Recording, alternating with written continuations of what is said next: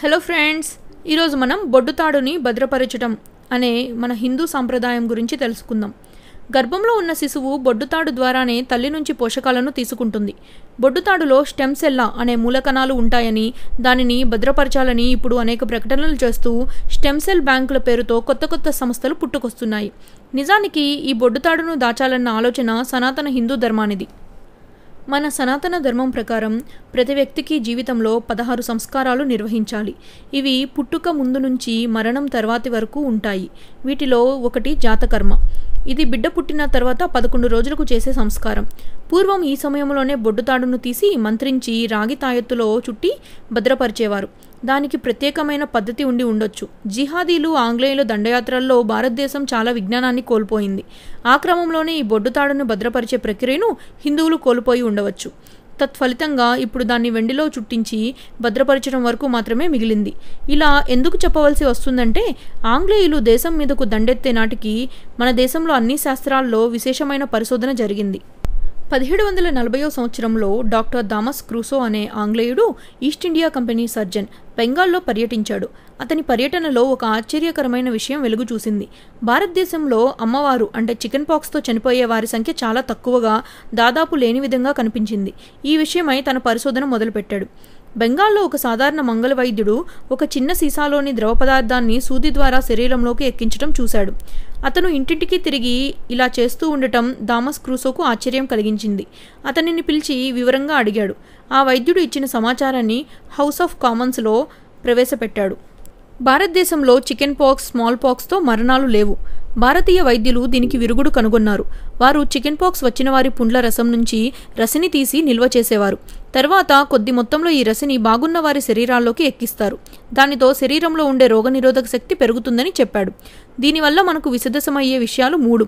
రోగనిరోధక శక్తి మన శరీరానికి ఉంది అనేది భారతీయులకు తెలుసు. చాలా చిన్న మోతాదులో రోగక్రిములను శరీరానికి ఇస్తే ఇక జన్మలో ఆ రోగం బారిన పడకుండా ఉంటారని తెలుసు. వ్యాక్సిన్లకు మూల సిద్ధాంతం ఇది. వైట్ బ్లడ్ సెల్స్ గురించి మన భారతీయులకు అవగాహన ఉంది. మామూలుగానే రోగనిరోధక శక్తి వ్యాక్సిన్లు యూరోపియన్లు కనుక్కున్నారు. అని అంటూ భారత్పైకి విదేశీయులు దండెత్తకపోతే మనకే దిక్కు ఉండేది కాదు అంటున్నారు. హౌస్ ఆఫ్ కామన్స్ వివరాలు తిరగవేయండి. మనకింకా ఇలాంటి విషయాలు చాలా బోధపడతాయి.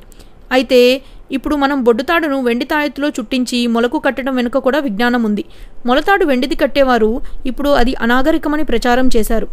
కానీ అసలు విషయం ఇది. పిల్లలకు వెండి మొలతాడు కట్టడంలో సైన్స్ లోహాలకు శరీరంపై ప్రభావం చూపే శక్తి ఎక్కువగా ఉంటుందని గుర్తించిన వారు మన పురాతన హిందువులు. ఈ సంస్కృతి ప్రతి చిన్న విషయం మీద చాలా లోతైన పరిశోధన చేసింది. వెండిని శరీరంపై ధరించినప్పుడు అది చలువ చేసే గుణం కలిగి ఉంటుంది. అదే బంగారం అయితే ఉష్ణగుణం కలిగి ఉంటుంది. ఎక్కడెక్కడ ఉష్ణగుణం అవసరమో ఎక్కడ శీతల గుణం అవసరమో మన పూర్వీకులకు బాగా తెలుసు.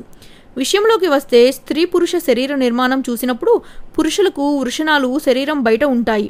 వాటి ఉష్ణోగ్రత సాధారణ శరీర ఉష్ణోగ్రత కంటే రెండు డిగ్రీలు తక్కువగా ఉంటుంది. అది పురుషుల్లో వీర్యోత్పత్తి చేస్తాయి. ఈ వృషణాలు ఎప్పుడూ కూడా అధిక ఉష్ణోగ్రతకు లోనవ్వకూడదు. అలా అయితే వీర్య ఉత్పత్తి మీద వీర్య కణాల మీద ప్రభావం చూపిస్తుంది. ఇవి అధిక ఉష్ణోగ్రతకు లోనవ్వడానికి అనేక కారణాలు ఉంటాయి.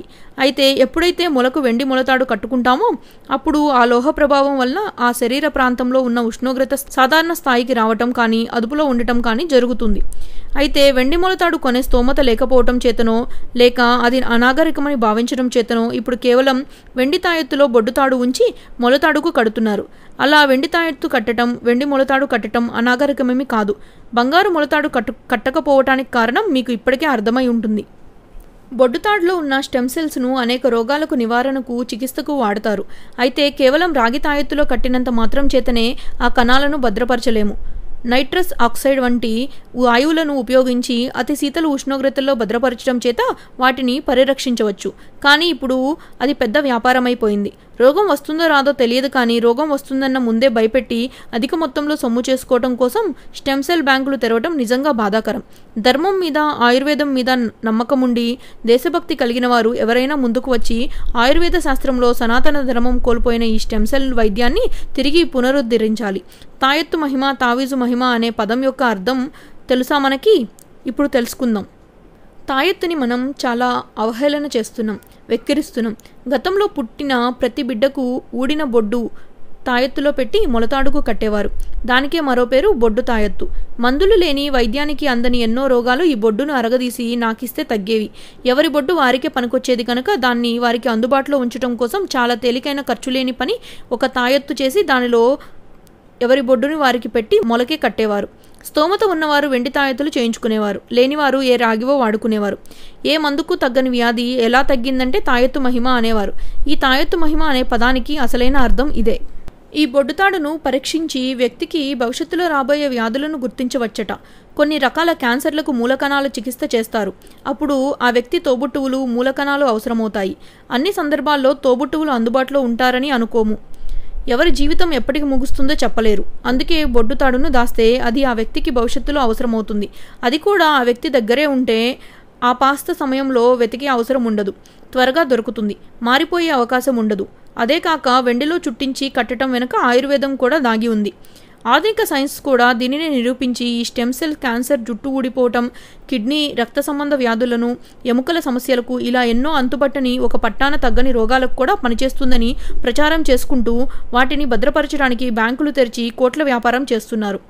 ఇవాళ ఒక బొడ్డుతాడును భద్రపరచడానికి ఒక బ్యాంకు లాకర్ అదే సుమారు ఇరవై వేల రూపాయలు అవుతుంది ఆ అవసరం లేకుండా తాయెత్తులో పెట్టుకొని మొలకు చుట్టుకుంటే అనాగరికమైంది అవహేళన చేయబడుతుంది వెక్కిరించబడుతుంది. అవును. బట్ట కట్టుకోవటమే అనాగరికం అనుకున్నప్పుడు మొలతాడు దానికి ఒక తాయెత్తు మరింత అనాగరికమే అవుతుంది కదా. అంత ఉపయోగమున్న బొడ్డుని ఒకరిదొకరికి మారటానికి ఆస్కారం లేకుండా తాయెత్తులో పెట్టి ఖర్చు లేకుండా మొలకు కట్టుకోవటం అజ్ఞానం. ఒకరిది మరొకరికి మారే అవకాశమున్న లాకర్లలో పెట్టి ఖర్చు పెట్టి దాచటం విజ్ఞానం.